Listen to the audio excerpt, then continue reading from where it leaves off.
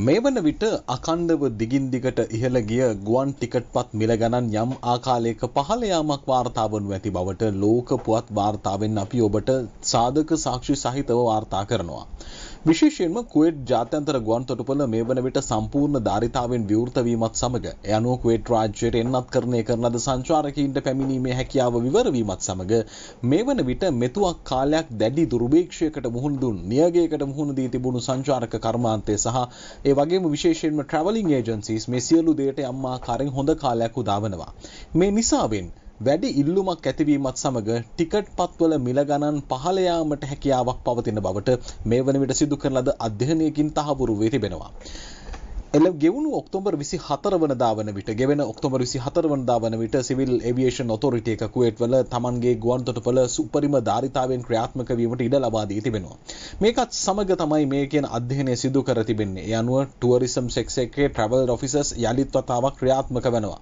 ඒ අනුව ගුවන් සේවයන් සඳහා ගුවන් යාන සඳහා මගින් ආකර්ෂණය කර ගැනීම, ඒ වගේම මෙච්චර කාලයක් හිර වෙලා හිටපු බොහෝ මගින් යලිත් ගුවන් ගමන් භාවිත කිරීම, ඒ නිසා රටේ ආර්ථිකය ඉහළ යාම මේ සියලු දේත් එක්ක බොහොම පැහැදිලි ලෙසම ඉදිරියේදී ගුවන් ටිකට් පත්වල මිල පහළ යාමට හැකියාවක් පවතින බව තමයි ප්‍රකාශ වෙන්නේ. ඒත් එක්කම මීට පෙර තිබුණේ ගුවන් යානාවලට උපරිමයෙන් දාගත හැකි මගින් සංඛ්‍යාව සීමිත කරලා. නමුත් දැන් මේ වේක්වැන් එන්නතත් එක්ක යලිත් වතාවක් ගුවන් තොටුපළ සක්‍රිය වීමත් එක්ක එවැනි මගී සීමා පැනවීමක් සිද්ධ වෙන්නේ නැහැ. ඒ නිසා ගුවන් යානයකට පැමිණීමේදී ඊට අවශ්‍ය උපරිම ධාරිතාවෙන් මගින් රැගෙනීමේ හැකියාවක් පවතිනවා. ඒ නිසා නියත වශයෙන්ම ඉදිරියේදී ගුවන් ටිකට් පත් මිල මිල පහළ යාමට සූදානම්.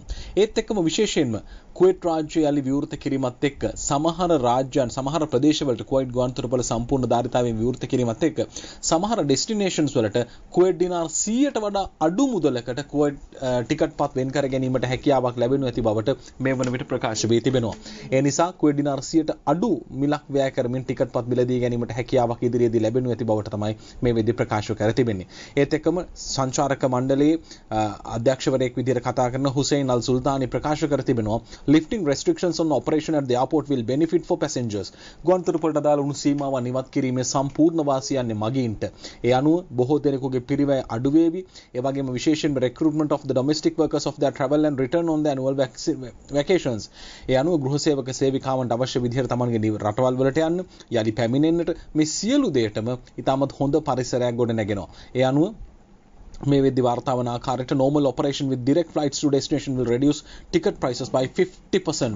සාමාන්‍ය මෙහෙයුම් ක්‍රියාවලිය යටතේ ඍජු ගුවන් ගමන්වල මිල ගණන් සිට 50කින් පමණ ඉදිරියේදී අඩු විය හැකි බව තමයි කුවේට් රාජ්‍ය විසින් සිදු කරන ලද පුරෝකථනය තුලින් තහවුරු වී තිබෙන්නේ. ඒ නිසා නියත වශයෙන්ම මේ සීමාවන් ඉවත් වීමත් එක්ක ගුවන් තොටුපළවල සක්‍රියව ක්‍රියාත්මක වීමත් එක්ක ගුවන් ටිකට් පත්වලට මිල ගණන් බොහොම පැහැදිලි අඩුවීමක් ඉදිරියේදී සිදු විය හැකි බවට තමයි දැනට ලෝකය අනුමාන කරන්නේ.